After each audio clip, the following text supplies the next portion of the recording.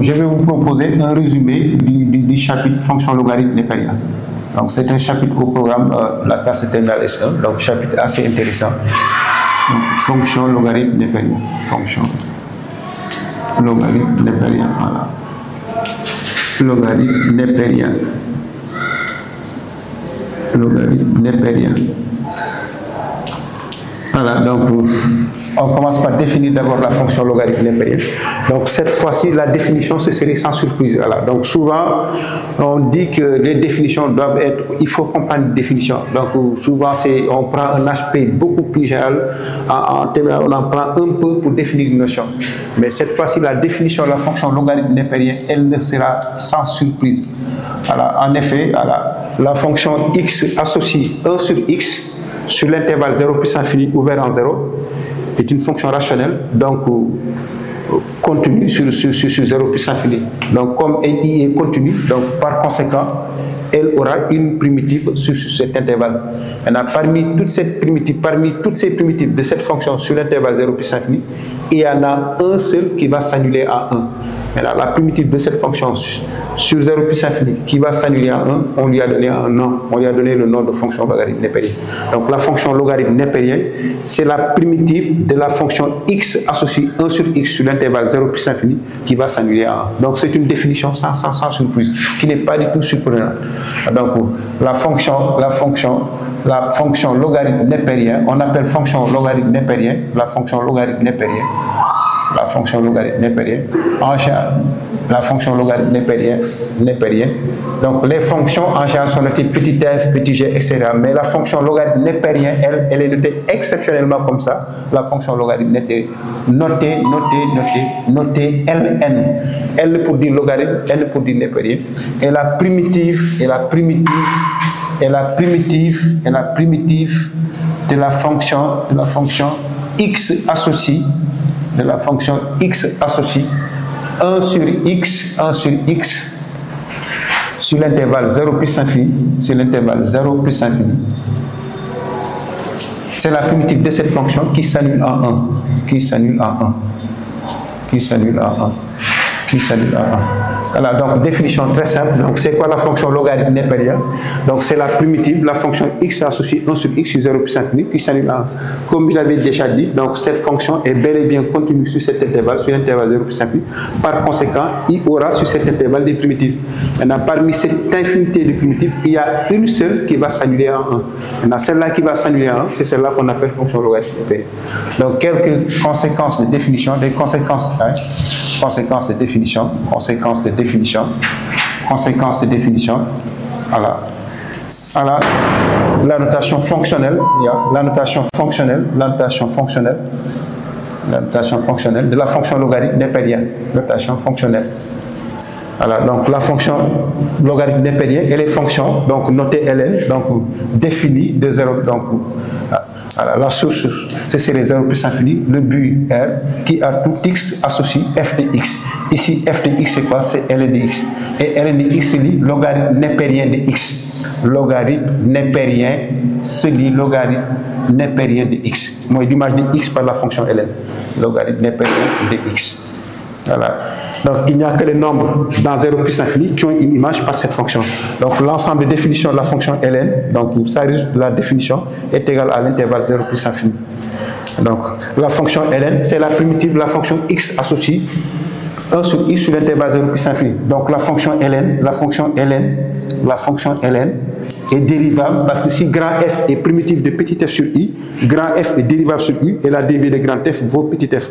Donc la fonction ln est dérivable, la fonction ln est dérivable, est dérivable sur 0 plus infini, sur 0 plus infini, et pour tout x appartenant à 0 plus infini, et pour tout x appartenant à 0 plus infini, pour tout x appartenant à 0 plus infini, la dérivée de la fonction ln, f' de x, donc ln' de x égale quoi? Égale à 1 sur x. Voilà, donc, euh, Et c'est la fonction qui s'annule à 1. S'annuler à 1, ça veut dire ln de 1, donc ln de 1. L'image de 1 par la fonction ln est égale à 0. Donc l'ensemble des définitions de la fonction ln, c'est 0 plus infini. La fonction ln est dérivable sur 0 plus infini et des dérivées égales à la fonction x associée 1 sur x. Voilà, et ln de 1 égale à 0. Donc c'est des conséquences tirées directement à partir de la, définition. Voilà, donc grand 2, nous allons voir quelques règles, quelques propriétés de la fonction ln. Propriété. Propriété, voilà. Donc la première propriété, elle est appelée propriété fondamentale. Propriété fondamentale. Propriété fondamentale. Propriété fondamentale.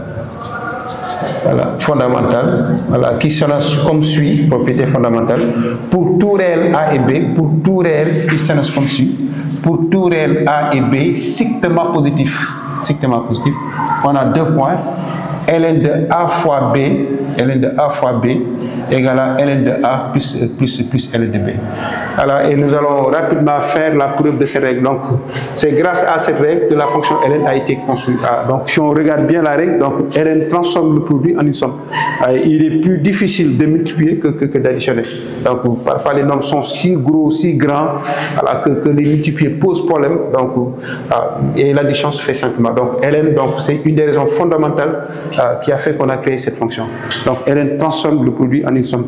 Et nous allons voir la, preuve de cette règle. Pourquoi ln de a fois b est égal à ln de a plus, plus ln de b.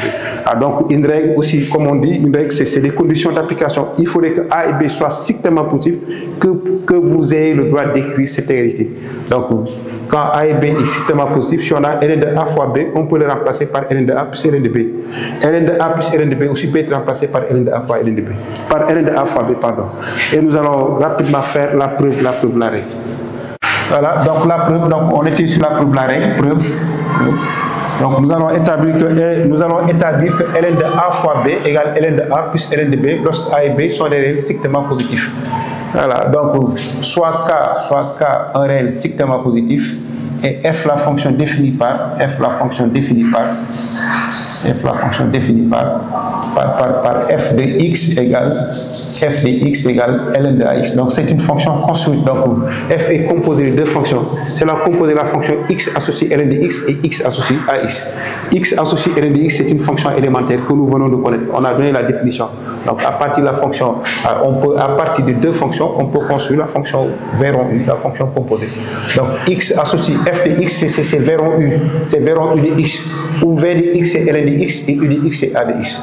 Voilà, donc on va, on va, on va, on va chercher l'ensemble des définitions de f. Donc d de f, donc d de f ici c'est 0 plus infini, c'est 0 plus infini. Donc f de x égale ln de kx avec k strictement positif. d de f c'est 0 plus infini. Je rappelle comment on cherche le domaine de définition de, la, de, de u. Donc d de v rond u c'est l'ensemble des x appartenant à d de u tel que u de x appartient à d de v. Alors ici d de u, la fonction x associée kx, donc son domaine de définition c'est r. Donc d de u ce serait r. La fonction x, donc u de x, la fonction x associée ln de x a pour domaine de définition 0 plus infini. Donc u de x appartient à, à d de v, va donner k de x strictement positif.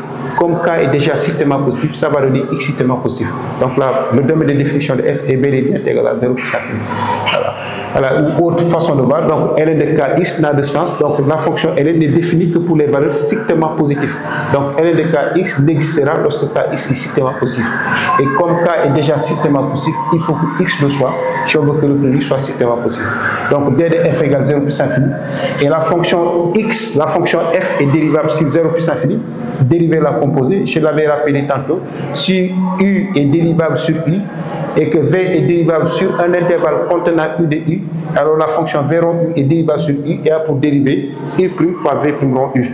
Voilà, c'est le cas f de x, c'est v rond u. Ici, v, c'est ln de x, u, c'est u de x. La fonction u de x est, dérivable sur, sur, r et à valeur, et à valeur, et à valeur dans 0 plus infini lorsque x est dans 0 plus infini. Ah, donc, et comme la fonction ln est dérivable sur 0 plus infini, donc la fonction f est par composé et dérivable sur 0 plus infini. Et pour tout x, f est dérivable, f est dérivable, f est dérivable, f est dérivable sur, sur 0 plus infini. Ou bien il y a autre règle, toujours euh, pour la composer. Donc pour la composer de V rond U, il suffit que U et V soient dérivables en tout point de l'ensemble de définition pour que la fonction V rond U soit dérivable en tout point de l'ensemble de définition. Voilà, on pourrait aussi appliquer, c'est une conséquence de la dérivabilité de la composée. Donc la fonction f est dérivable sur 0 plus infini. Et pour tout x, et pour tout x appartenant, et pour tout x appartenant à 0 plus infini, f' de x, on applique dériver la composée, ce serait u' ici u', u c'est u de x et kx, u', ce serait quoi? K. Multiplié par v' rond u, v' rond u, c'est v' de u. On prend v', puis x, on prend v' de x, puis x est remplacé par u de x. Si on veut v' rond u de x, ici v c'est v de x et r de x, donc v' ce serait 1 sur v' de x, serait 1 sur x. Donc v' de k de x, serait 1 sur 1 sur k de x. On prend 1 sur x, puis x est remplacé par, par, par, par kx. Donc k fois 1 sur k de x, on simplifie par k, parce que k est différent de 0, parce que c'est strictement possible, ça donne 1 sur x. Et là, donc, la remarque que, que nous faisions, donc, finalement, la fonction f et la fonction Monsieur Tal, professeur de SVT à l'Institut Mbakemat. Monsieur Diop, professeur de physique-chimie à l'Institut Mbakemat. Et Monsieur Mbakemat, professeur de maths, vous souhaite la bienvenue dans ce programme d'excellence. Envoyez un message sur WhatsApp au numéro indiqué pour avoir une fiche de renseignement et consultez notre chaîne YouTube Mbakemat et abonnez-vous.